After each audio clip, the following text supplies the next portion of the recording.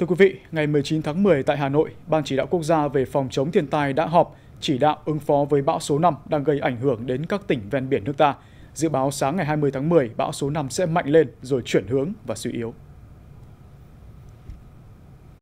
Theo Trung tâm Dự báo Khí tượng Thủy văn Quốc gia, nguyên nhân bão số 5 chuyển hướng đột ngột và suy yếu là do khối không khí lạnh từ phía Bắc tác động xuống. Tuy nhiên, bão yếu đi thành áp thấp vẫn tiếp tục gây mưa lớn, do đó các địa phương còn trong khu vực ảnh hưởng vẫn cần hết sức cảnh giác, đặc biệt là tại các tỉnh ven biển nằm trên đường đi của bão như Hải Phòng, Quảng Ninh.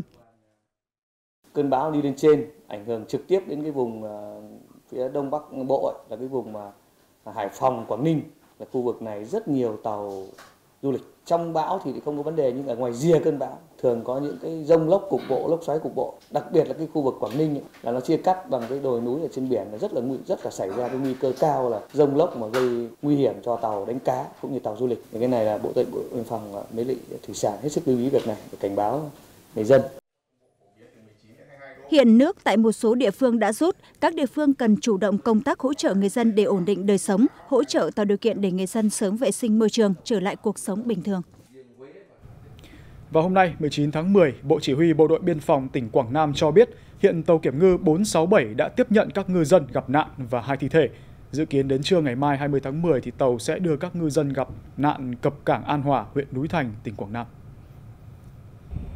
Theo thông tin từ chỉ huy tàu kiểm ngư 467, lúc 0 giờ 45 phút ngày 19 tháng 10, tàu kiểm ngư 467 đã tiếp nhận 43 ngư dân và hai thi thể nạn nhân, trong đó có 40 ngư dân và hai thi thể của tàu cá QNA 90129TS bị chìm. Dạ, rất muốn về đất liền sớm và cũng rất mong các lực lượng chức năng uh, tiếp tục tìm kiếm các người dân của chúng tôi uh, mất tích chưa tìm thấy. Rất mong các uh, à, cơ quan chức năng cố gắng vào lúc 1 giờ sáng nay, tàu kiểm ngư 467 tiếp tục di chuyển đến vị trí tàu QNA 91782TS do ông Trần Văn Kỵ làm thuyền trưởng để tiếp nhận 38 thuyền viên của tàu cá QNA 90927TS bị chìm. Đến thời điểm hiện tại, tàu kiểm ngư 467 cũng đang tiếp cận tàu QNA 91782TS để đón ngư dân. Sau đó sẽ di chuyển về An Hòa, huyện Phú Thành vào trưa ngày 20 tháng 10. Chúng tôi sẽ đưa bà con về đất liền an toàn theo hoạch bà con cứ yên tâm nghỉ ngơi và giữ gìn sức khỏe à, trong quá trình hành trình nếu có khó khăn gì bà con cứ đề đạt với cán bộ chiến sĩ trên tàu Tại Sở Chỉ huy Tiền Phương, đặt tại đồn biên phòng cửa khẩu Cảng Kỳ Hà, Bộ Chỉ huy Bộ đội Biên phòng tỉnh Quảng Nam vẫn đang giữ liên lạc với tàu kiểm ngư 467 để nắm hành trình đưa ngư dân trở về, đồng thời chuẩn bị các điều kiện để tiếp nhận ngư dân và làm thủ tục bàn giao thi thể cho gia đình người bị nạn.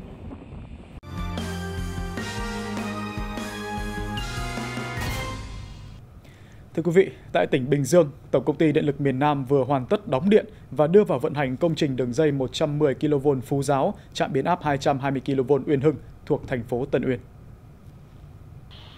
Công trình đường dây 110 kV Phú Giáo, trạm biến áp 220 kV Uyên Hưng có tổng mức đầu tư 92 tỷ đồng. Quy mô xây dựng gồm đường dây 110 kV hai mạch, có tổng chiều dài tuyến 24,5 km, đấu nối chuyển tiếp từ đường dây Phú Giáo Trị An đến trạm 220 kV Uyên Hưng. Công trình được khởi công từ tháng 6 2020 và trải qua nhiều khó khăn, từ xử lý điều chỉnh hướng tuyến cho phù hợp với quy hoạch khu công nghiệp về ship bằng, vướng mắc trong công tác bồi thường giải phóng mặt bằng, đặc biệt là bị gián đoạn thi công bởi đại dịch Covid-19. Sau 3 năm, công trình đã hoàn tất với nhiệm vụ tăng cường cung cấp điện cho các khu công nghiệp cũng như đóng góp một phần vào quá trình xây dựng thành phố thông minh của tỉnh Bình Dương. Vừa qua, Thủ tướng Chính phủ đã ký quyết định phê duyệt quy hoạch cửa khẩu trên tuyến biên giới đất liền Việt Nam Trung Quốc thời kỳ 2021-2030, tầm nhìn đến năm 2050. Trong đó, tỉnh Lào Cai sẽ có hai cặp cửa khẩu quốc tế được mở, nâng cấp gồm Mường Khương, Kiều Đầu và Bản Vược, Pa Sa.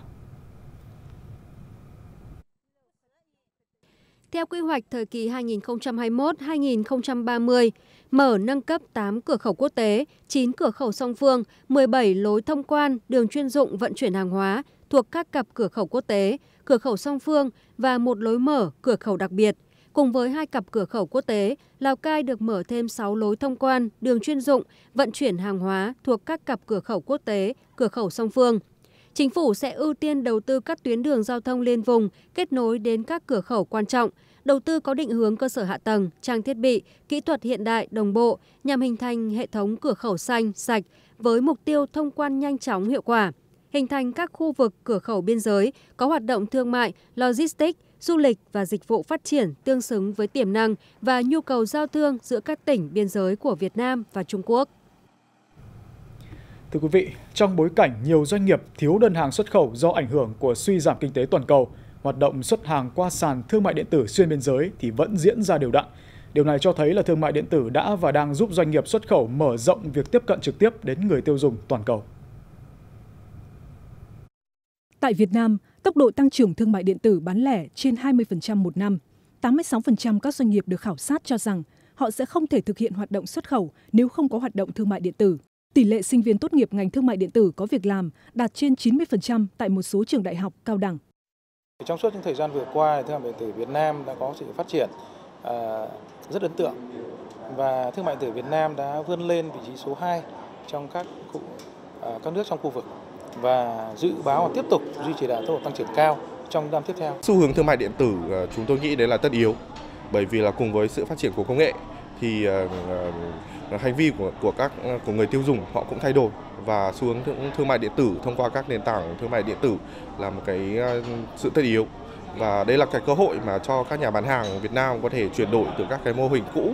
và có thể bắt nhịp được với các làn sóng thương mại điện tử từ các nước.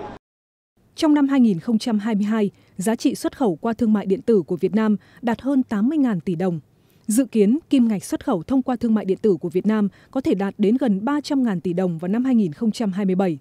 Tuy nhiên, bất chấp tiềm năng lớn, tăng trưởng thương mại điện tử ở Việt Nam đang bị kiềm chế bởi nhiều lý do. Cái phần lớn là cái xuất khẩu ờ, bán trên các cái sàn thương mại điện tử ờ, của Việt Nam thì hầu như là hàng thủ công mỹ nghệ hàng ờ, những cái mặt hàng truyền thống của Việt Nam thì tôi thấy là mình chưa chưa có những cái chế tài đặc biệt ờ, để ờ, hỗ trợ các cái hộ kinh doanh cá thể cũng như các nhà máy để họ đẩy mạnh được cái hoạt động này. Bởi vì thật ra thì nếu mà xuất khẩu được trên các cái nền tảng thương mại để bán để bán được với đúng cái thương hiệu của mình, thì nó sẽ quảng bá cái hình ảnh và thúc đẩy được cái cái cái cái sản xuất của Việt Nam hơn. Để hỗ trợ hiệu quả cho doanh nghiệp, việc hoàn thiện hệ thống chính sách pháp luật về thương mại điện tử, xây dựng hệ sinh thái cho thương mại điện tử và kinh tế số là một nội dung quan trọng cần được xác định để định hướng phát triển thương mại điện tử trong tương lai. Trước hết, các chính sách pháp luật cần tạo ra hành lang pháp lý bảo đảm môi trường thuận lợi cho phát triển thương mại điện tử xuyên biên giới, bảo đảm lợi ích hợp pháp chính đáng cho các đối tượng tham gia thương mại điện tử, từ đó góp phần thúc đẩy xuất khẩu hiệu quả